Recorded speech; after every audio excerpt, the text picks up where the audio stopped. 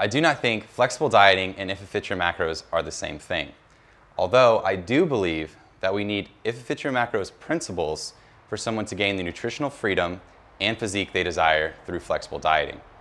Now, if we imagine this as a picture, we have one really big circle and we have one smaller circle.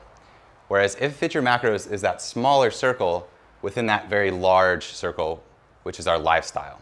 So if it fits your macros is more or less a tool within our lifestyle. Now I know the post below is very long, but I do encourage you to read it all the way to the end because it brings great value and insight into the difference between if it fits your macros and flexible dieting.